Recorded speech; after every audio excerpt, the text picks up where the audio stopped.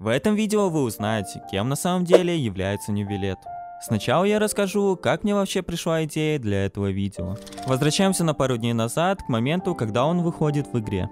Я его, конечно же, выбиваю для того, чтобы сделать историю быстрее, и что я вижу? У него нет целых пяти историй персонажа. Но это далеко не все. У него также отсутствуют некоторые войслайны, целых 8 штук.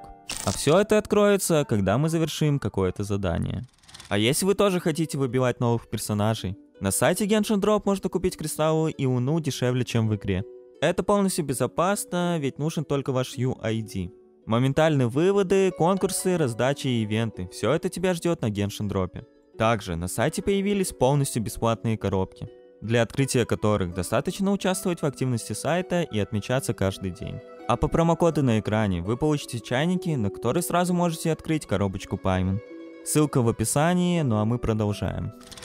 Итак, мы имеем незаконченную историю персонажа и недостаток некоторых войслайнов. Кстати, насчет этих невышедших войслайнов. Мое внимание привлекли именно эти войслайны. Ну и как вы можете заметить, здесь явно кого-то не хватает. А именно Гидра Архонта. Первая мысль была о том, что он ничего не будет о ней говорить, потому что сам будет являться Гидра Архонтом. Ну и как раз, если вы проходили сюжетку 4.1, думаю, понимаете, о чем я. Но Невелет все равно говорит о Фурине как о Фурине, а не как о Гидра Архонте. Может быть, потому что он лично с ней знаком, а может быть и что-то другое. В общем, к чему это я? Скорее всего, он не является гидроархонтом, а кем-то другим, ну или чем-то другим. Об этом мы поговорим чуть позже. Для продолжения, давайте вернемся к версии 4.0. В этой сюжетке нам всячески намекали, что если в фонтейне идет дождь, то это плачет гидродракон. И всегда мы рядом видели именно Невилета. У Юдекса, кстати, есть фразы о дожде. Невелит же парирует все эти предположения о драконе своим войслайном. Или же нет? So you have heard of that local legend as well? who told you about that? Or more pertinently, who was responsible for spreading it in the first place? Well, never mind. I don't think that the Hydro Dragon would weep per se. I think he just finds himself a little stirred when he gets a taste of the tears that have been shed on this land, on account of all of the emotions they contain. Ну и как вы уже могли понять, в этом видео будет много войслайнов. У нашего судьи есть еще один интересный войслайн. The Bishop's ancestry can be traced directly back to the Fontamer Sea, which is why they are so adept at evolution. I am reminded of an old custom that the dragons once observed. We would take a sip of our perished young brethren's blood. Whenever the tides are disrupted by the motion of the moon and stars, the water within the bodies of us hydro-organisms surges up towards our heads, reminding us that our deceased kin will soon be revived. В нем он говорит о вишепах и вспоминает старые обычаи драконов. С виду это, конечно, обычный войслайн, но меня заинтересовал этот момент. Он говорит о драконах, кто-то из наших, наши ушедшие предки, мы.